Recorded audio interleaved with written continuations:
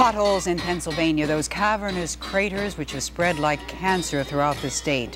What can be done about them? They've taken their toll in personal injury and property damage.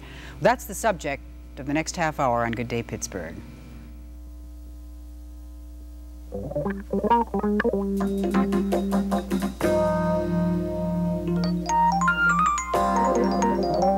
Good morning and welcome to Good Day Pittsburgh with Eleanor Schano White and Tom Peterson with news.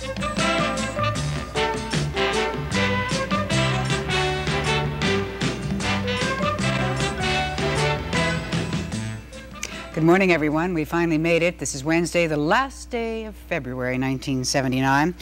Today we're going to be talking about highways in western Pennsylvania, our highways that look like a battlefield. We have two of the top generals with us this morning who are going to lead us into battle, and we're going to be talking with them in just a few minutes. But right now it's time to take time out for our mid-morning news update with Tom Peterson. Good morning, Tom. Good morning, Eleanor, and good morning, everyone. Three shooting deaths reported overnight here in Allegheny County. Police in West Mifflin are looking for two men in a white car who shot to death 45-year-old Richard Striley of West Homestead last night as a man sat in his car in a parking lot in a West Mifflin shopping center. 24-year-old Harry Ham of Natrona Heights will be arraigned today in the shooting death of 21-year-old Bruce Frank of Natrona. Frank was shot following an argument between the two men. And in McKeesport, 16-year-old Gilbert Moore of Lee Street was surprised in a burglary attempt at a neighbor's home and was shot and killed.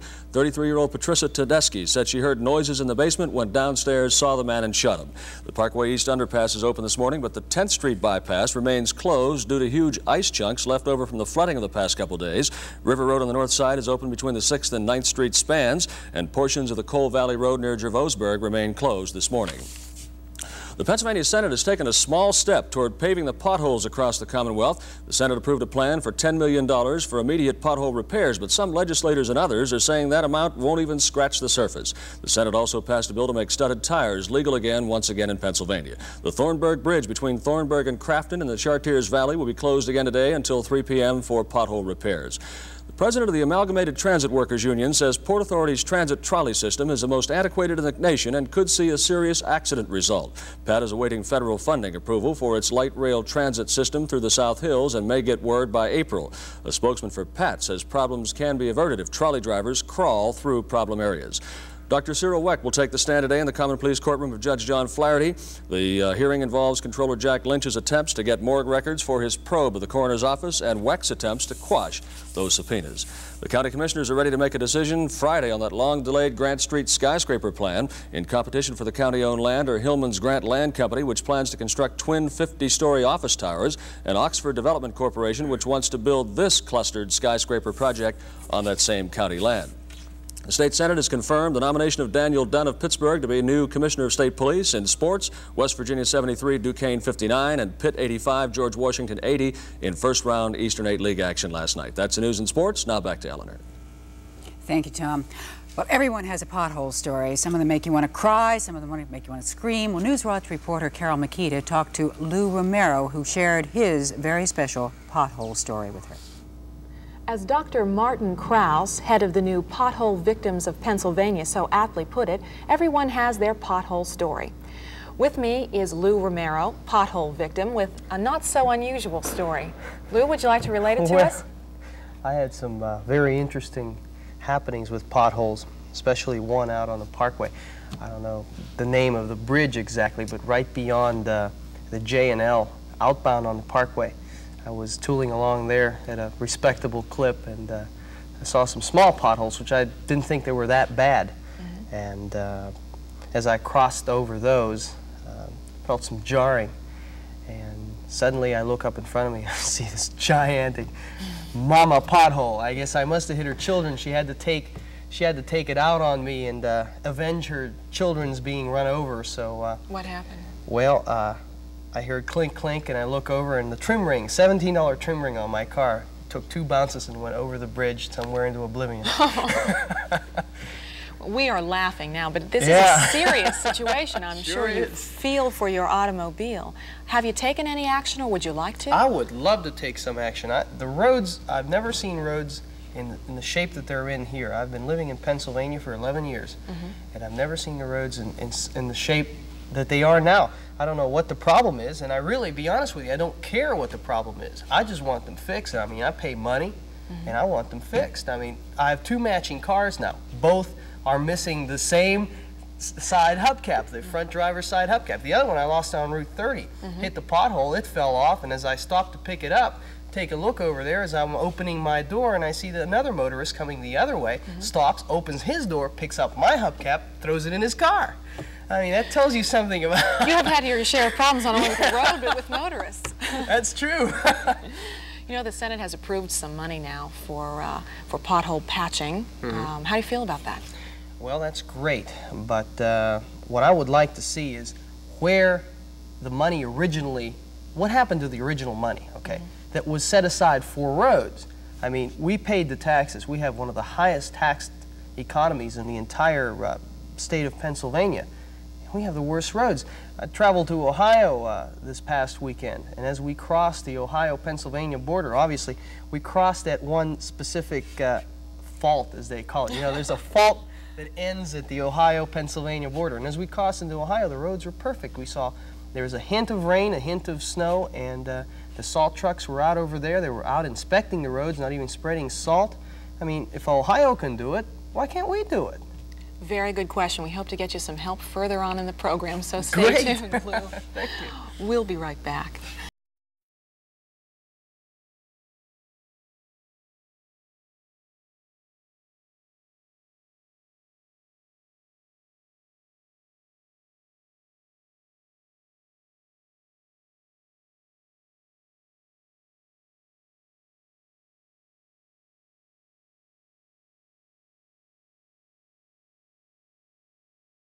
Guess we're laughing this morning because it hurts less than crying. And I think about this point, most of us would like to just cry, scream, help, help. And that's what we did. And we found Alan Frank, prominent Pittsburgh lawyer, who has filed a class action suit against the Trumbull Corporation. Uh, Alan, you did this after just personal frustration the pothole situation. And right now, I think you could run for president and win probably because people just are looking for anybody who has offered them some kind of help. Now, why did you why did you take this action? Well, it was a personal uh, frustration that that got me after uh, after losing two hubcaps on the small car, which weren't too expensive, not too expensive being maybe seven or ten dollars. But then when I lost one on uh, on our station wagon, a full-size car, uh, that was the last straw. Uh, it's pretty dirty, Al. Okay, that's all right. If you just reach. You know, this is not unusual. People are walking around. Alan came in this morning. This is his hubcap. Now, Alan, you are luckier than a lot of people because you retrieved your hubcap. Well, not that's not so. This is one of the two that remain. I just wanted you to see that you know I do have a, a rather expensive hubcap. The car used to look nice when it had that hubcap on there, uh, and now I've got to take them off and run into the other problems of uh, rusted wheel nuts. Well, I have my personal story too. Unfortunately, if I had not Here. run out of gas this morning, I could have brought my, my tire. My car is down the road a little bit, but I have a brand new tire, radio, less than 3,000 miles on it, split wide open. Took it back to the tire dealer, and he said, "Sorry, we can't do anything No about dice. it. It a road hazard that caused this, so uh, you suffer the loss." You obviously, in in uh, deciding to sue the contractor, you obviously feel that. It's the contractor's fault. Oh, well, at least in the first instances, uh, just as if a soda pop bottle would explode in your face, uh, you wouldn't blame it on the, the person that put the carbonation in. You wouldn't seek out uh, the actual glass manufacturer. You'd look on the bottle and it would say the name of the bottling company. You sold it to me. If you didn't do wrong and create a defective bottle, who did? When you look at a pothole in a road and then examine 20 feet away, the road looks perfect. Go to somewhere else, the road looks perfect. There's a defect there. And the contractor is primarily responsible for an obvious defect in our law. When I decided to sue, uh, I realized that, my goodness, there, there had to be thousands of people uh, similarly situated, and uh, I put together the class action. Have you heard from a lot of people? Oh, yeah, we've had hundreds of phone calls, really hundreds of phone calls, and I've never published the office phone number. Now, Alan, though you uh, you are asking that uh, pothole victims do a couple of specific things. You feel that it's very important that they go out and take a photograph, right? I do. I really do. Okay, uh, let's go. Let's run down the list of things that you would like mm. victims in our audience right now to do, because I'm sure that uh, good. Everyone has a story. Everyone has uh, a, a, a, situation related to a pothole. What do you want them to do? All right. Most everyone has a, a camera that you know they, they know how to operate. Get out and take any particular uh, photograph you like, as close up as you can get. That'll preserve the appearance of the matter and enable me or some other expert. Incidentally, I also have experience and a degree in engineering, mm -hmm. professional engineering. I went to Carnegie Tech. I know uh, a little bit about what I'm talking uh, about in this area. Take a close-up photograph and you might be able to see if there is a defective reinforcing rod mm -hmm. under the asphalt, which would lay the blame to the proper person. Mm -hmm. After preserving that evidence, then you've got to send me a postcard, Alan Frank Plaza Building, Pittsburgh 19, with the exact location of the pothole. In this way, I can identify exactly what contractor was responsible for that road. Okay, so you don't need a photograph of the of the damaged tire or the no. hubcap. You just want a People photograph of people. People are honest. They really are. Uh, and if we can preserve the evidence, we'll avoid the reason why there's never been a pothole suit before, namely, by April or May, everything's cleaned up, all the mm. potholes are filled in, and, and there's no more evidence. There's no suit left. And, and the worst is yet to come. Oh, you yeah. know, March is a bad month. Oh, yeah. Alan, we have uh, Jack Hughes uh, with us this morning, and Jack is the president of the North Hills Chamber of Commerce, and uh, he has a different idea of how we can fight the pothole problem. Uh, we'll be right back and continue our discussion.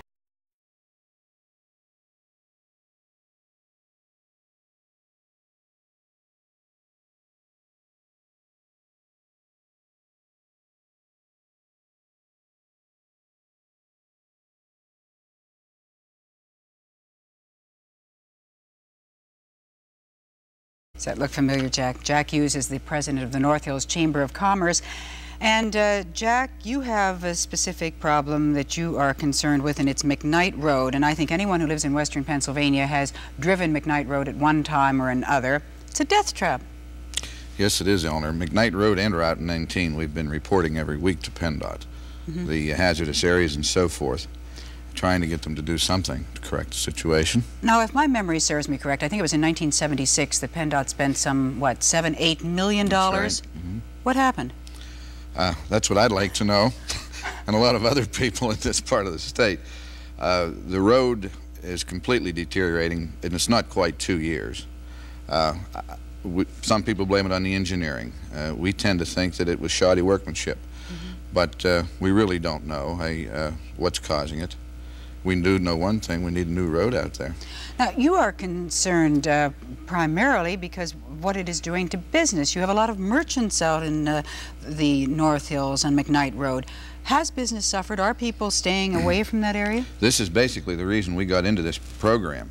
Uh, the beginning of February, or the end of January, we were getting so many inquiries and telephone calls from the business community wanting to know what they could do with the roads. Their business was dropping off, their dollar volume was, was less, and they came to us for something, some answer to this problem.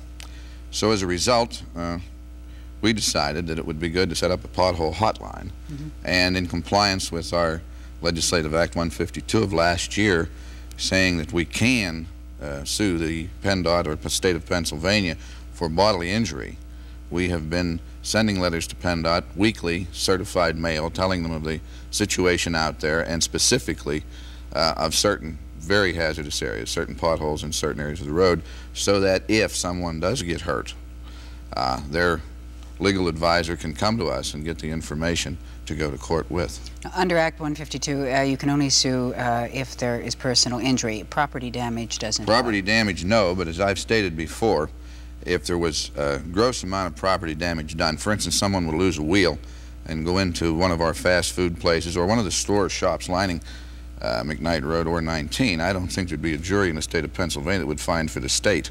Mm -hmm. I think they would find for the plaintiff. Jack, you, you've lived around here for a long time. Um, we've joked for years about Pittsburgh being the pothole capital of the world. This year, something has happened. I mean, it, it is absolutely outrageous. Have you ever seen our roads as bad as they are now? No, I haven't. I've lived here all my life. Now, do you think the answer is uh, that we all band together if we scream loud enough? Do you think they're going to hear us in Harrisburg? I would hope so. Uh, we tell everyone uh, to, to write Harrisburg, to uh, write PennDOT, to form organizations similar to ours, uh, allow people to know what's going on. Uh, we've written most of the people in Harrisburg, at least that are working with this end of the state. We've had no reply except from one gentleman. Um, I think that people become awfully complacent after a while. Uh, we elect our officials, they go to Harrisburg and to the federal government as far as that's concerned. Once they're there, we're paying their salaries, and uh, we seem to think we're working for them, but it doesn't work that way. They're working for us.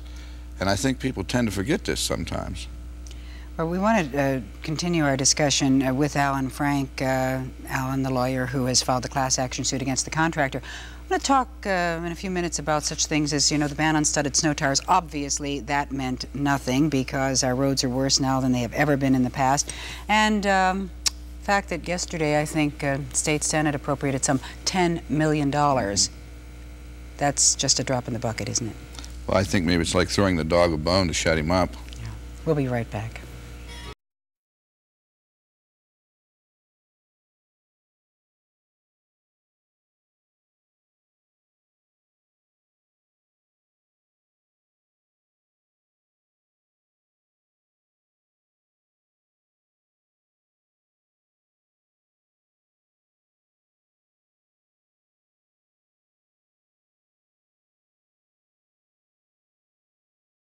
I was just looking at that picture of that pothole, and if Mork from Ork would take a, a, a, look at these, I mean, he would really think he had landed on still another planet. We uh, have established the fact that uh, we have some pretty bad roads in Pennsylvania. The pothole situation is, uh, it's outrageous. Now, Alan, you say sue, join in the class action suit against the contractor. Jack says, let's sue PennDOT. You both have given our viewers phone numbers. Question to both of you. Why is this problem unique to Pennsylvania? Why, when we have, uh, oh, states like New York and Michigan, where their winters are much more severe, they have the same kind of topography, why don't they have the problems? Makes us sort of wonder if maybe you're not heading, heading in the right direction. I, uh, I tend to agree with Jack about uh, faulty workmanship, Eleanor. Uh, it's just incredible. And when I use the word incredible, I mean non-believable that the workmanship is good. Uh, be because uh, we have the holes. It's faulty workmanship, and uh, a suit against the contractors will bear that out.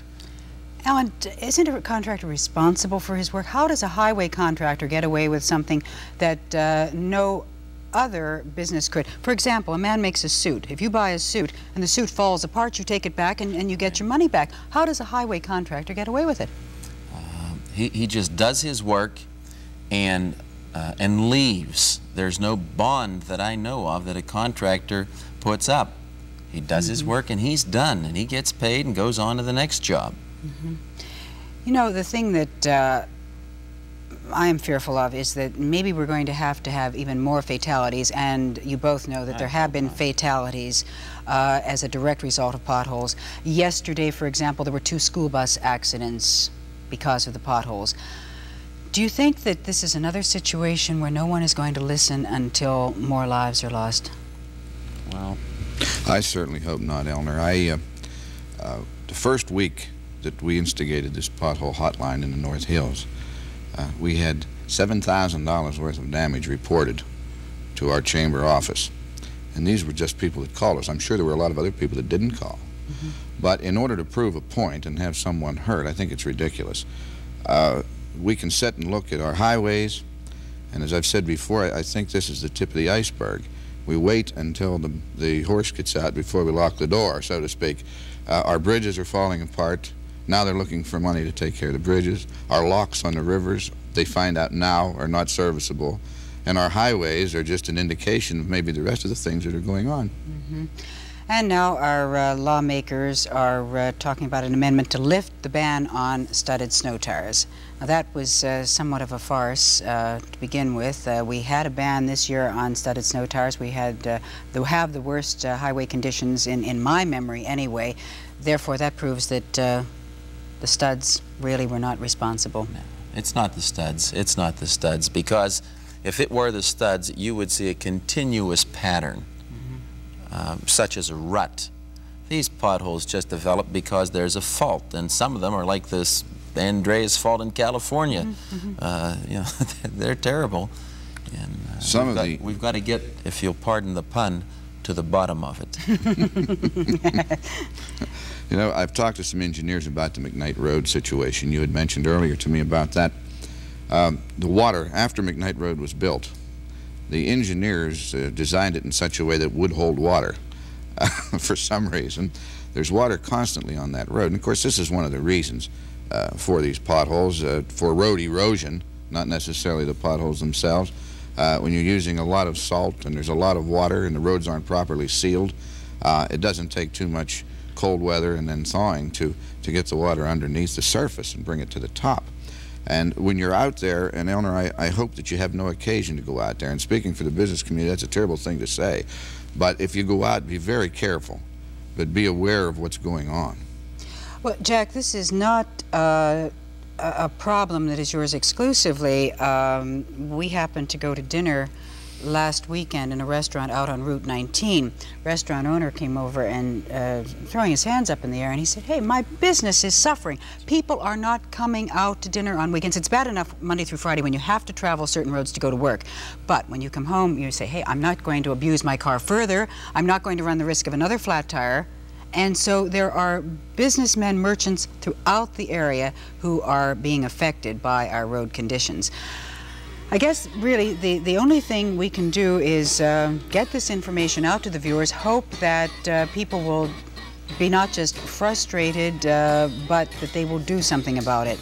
Alan, I want to repeat your request that someone take a little, it doesn't have to be a fancy photograph, does it? Anything. Anything. A little Polaroid picture, a little exactly. brownie. Take a photograph of the pothole that has damaged your car and send it to Alan Frank. Alan, uh, by the way, this is um, some of our ingenious uh, local work here. That uh, these these are all real, honest to goodness potholes, though.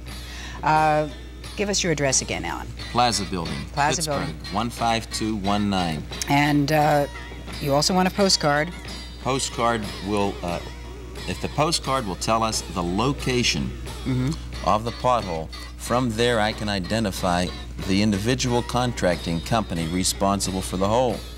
Okay, now, Jack, uh, if someone is suffering personal injury, uh, they can get in touch with you, or are you taking any calls on your hotline?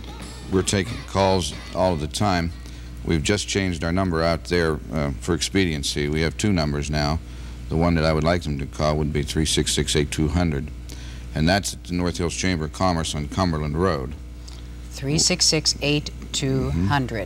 And uh, is this a, um, do they just get a recorded message? No, no, there's someone there to answer the phone. Okay, so someone will be there to, to uh, listen to their story, and I guess maybe if nothing else, uh, it uh, does one good to just get it off their chest. I mean, I know that's the way I feel. I have looked forward to this half hour for a long time because uh, each morning I come in here like this, a nervous wreck, and and really we were talking, Alan, uh, uh, before we went on the air about the way people are driving as a result of this. I guess it's a human reflex. You see yourself coming to a, a pothole and you'll swerve into the other lane. It's amazing that there have not been more serious accidents, although I know that there have been thousands of accidents, the direct result of potholes. The low speed re resulting from the pothole mm -hmm. is saving a lot of lives. You can't drive. You can't drive faster than 20 miles an oh. hour. I mean, there's just is uh, there's no way. I hurt my finger last night. The pothole jarred the steering wheel so hard. Well, I want to uh, thank both of you, and uh, we're going to uh, right now go out to Shadyside if we can get there without a pothole. Harriet Friedlander is standing by, and she has your daily horoscope for you. February 28th, Aries. Do your part to come to an understanding with someone today. Try to work in harmony. Taurus. Try to spend a quiet day. You may need some time to think right now. Gemini.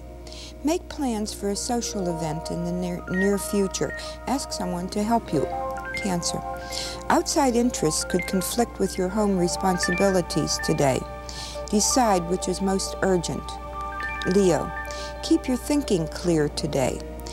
Too much daydreaming can waste your time. Virgo. A foolish argument over finances can be avoided now. Be willing to compromise. Libra. Give a small gift to someone today. It can lift both your spirits. Scorpio. Do your work with renewed vigor now. You may see some very good results soon. Sagittarius. Get out and have some fun today. You may need a change of pace now. Capricorn.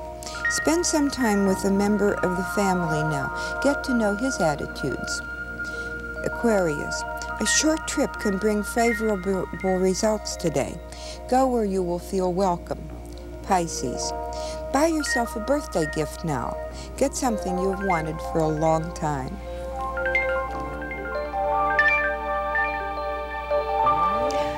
Tomorrow on Good Day Pittsburgh, our special guest will be Anita Bleier. She's married to that fella named Rocky. Anita is going to be by with a fashion show, all for the benefit of muscular, oh, multiple sclerosis, I beg your pardon. That's tomorrow, 10.30 to 11, right here on TV 53. Do join us. In the meantime, have a nice day.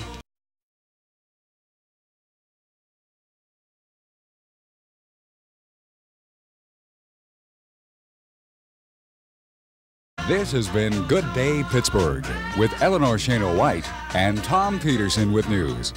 Join us each weekday morning at 10:30 for a special blend of features and interviews on Good Day Pittsburgh.